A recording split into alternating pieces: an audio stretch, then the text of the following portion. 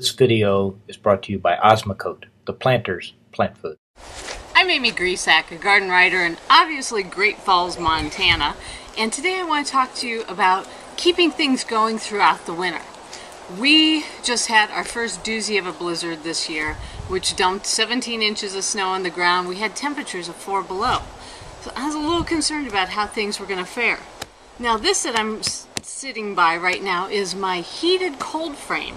It's an insulated cold frame. It has inch and a half insulation in the walls. It's buried about six eight inches and it's heated by a single 100 watt halogen light bulb right here.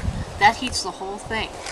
Now the other day, of course, when the weather was getting cold, I plugged it in and everything was fine because I've had it running up until 20 below and it's been just fine, carried all the plants through without a problem. But with all the heavy snow, it unplugged it. It actually pulled the plug apart. And so we were dark and there was so much snow and cold that I didn't even bother coming out to check it. I just figured if it lives, it lives. If not, oh well. So finally today the snow is melting off enough that I can finally check and see what we have. And the cool thing, if I can get this up, is everything is living. I have Swiss chard in here. I have spinach that just germinated. I have my precious rosemary. And everything is still living, still looking green. Actually not even nipped by the cold, even though this was four below without any additional heat. It did have snow on top, which I think is very important. And I think what really got it through this time of year, because this is November, we're in November, is the soil temperature. I think it's still warm enough that that was able to keep it going. But it just really shows you what a cold frame at all can do, even if it's not heated.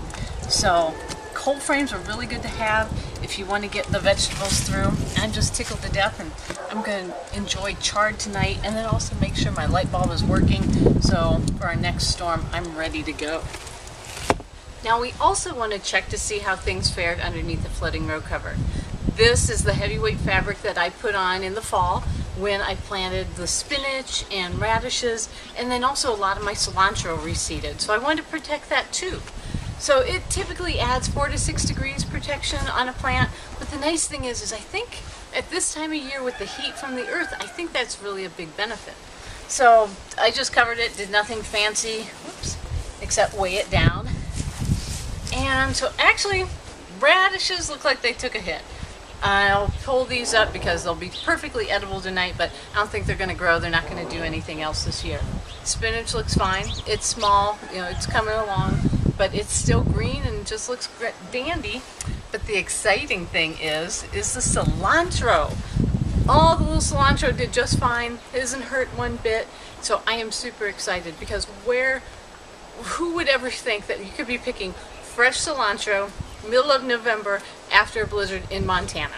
So this is very, very cool. Going to be picking more for dinner tonight, taking advantage of it as I can. So my recommendation, obviously after all this, is it doesn't take a whole lot to protect in the fall and going into the winter, but boy, the benefits are great. So grab those floating row covers, throw those over some of your favorites. If you got lettuces, spinach, chard, all that, have floating, or if you have a cold frame, that's great. They work great.